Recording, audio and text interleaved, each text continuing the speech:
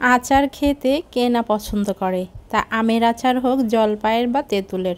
আজকে আমি সহজ রেসিপিতে তেঁতুলের আচার বানিয়ে শেয়ার করব, যেটা সারা বছরে কিন্তু সংরক্ষণ করে রেখে খেতে পারবেন। যারা আচার প্রেমী, তাদের কাছে আমার এই রেসিপিটা ভালো লাগবে। ভালো লাগলে ভিডিওতে অবশ্যই লাইক দিয়ে ভিডিওটা দেখা শুরু করে দেবেন। হাফ কেজি পরিমাণ পাকা তেঁতুল নিয়েছি। আর তেঁতুলটা কিন্তু আগে থেকে ভালো করে গায়ে কোনো প্রকার পাতা বা কিছু থাকলে সেটা পরিষ্কার করে নিতে হবে। এরপর অল্প অল্প করে কুসুম, গরম পানি দিয়ে এটা ভালোভাবে চটকিয়ে নিতে হবে। আর আমি কিন্তু এই তেঁতুলটা দানা সহকারেই নিয়েছি। তেঁতুলের দানা যেন বের হয়ে না আসে সেদিকেও খেয়াল রাখতে হবে।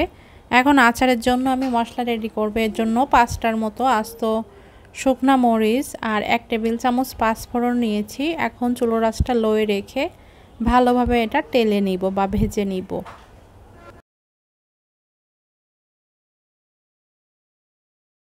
ভাজা হয়ে গেলে দেখবেন খুব সুন্দর একটা ফ্লেভার বের হবে। ঠিক সে পর্যায়ে চুলোটা বন্ধ করে এই মশলাটা ঠান্ডা করে নিতে হবে। এরপর ব্লেন্ড করে এটা এক সাইডে রেখে দিতে হবে। যে পাত্রে আচারটা রান্না করব, সে পাত্রে হাফ কাপ পরিমাণ সরিষার তেল দিয়ে দিলাম।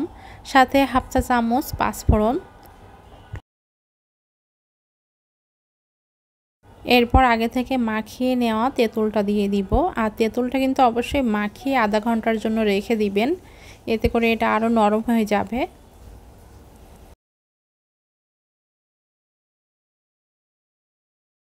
প্রথম পর্যায়ে মনে হবে যে তেলটা অনেক বেশি হয়ে গেছে। আস্তে আস্তে দেখবেন যে তেলটা কমে গেছে।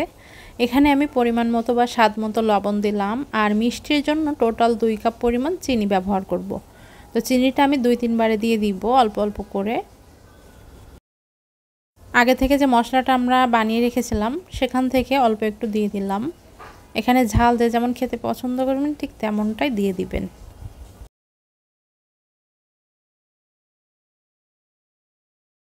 আর এটা কিন্তু চুলায় বসানোর পরে অনবরত নেড়ে ছেড়ে মিশিয়ে নিতে হবে।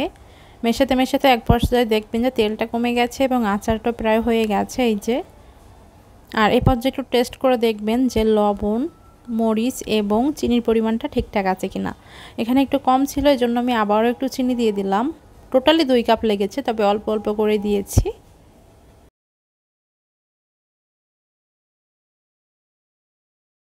এখন চিনিটা ভালোভাবে মিশিয়ে তারপর চিনির যে পানিটা বের হবে সেটা শুকিয়ে নেওয়া পর্যন্ত অপেক্ষা করব। আর লাস্টে আমি আবারও একটু ভাজা মশলা দিয়ে দিলাম, এতে করে খুব সুন্দর একটা ফ্লেভার বের হবে লাস্ট পর্যায়ে। এখানে কিন্তু আচারটা আমার বানানো হয়ে গেছে, এখন আমি চুলা থেকে এটা নামিয়ে ফেলব।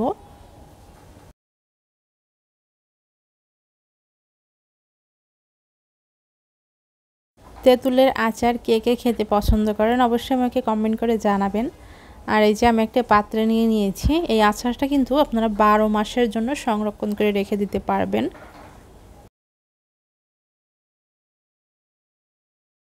রেসিপিটা ভালো লাগলে ভিডিওতে অবশ্যই লাইক করবেন ফ্রেন্ডস অ্যান্ড ফ্যামিলির সাথে শেয়ার করবেন।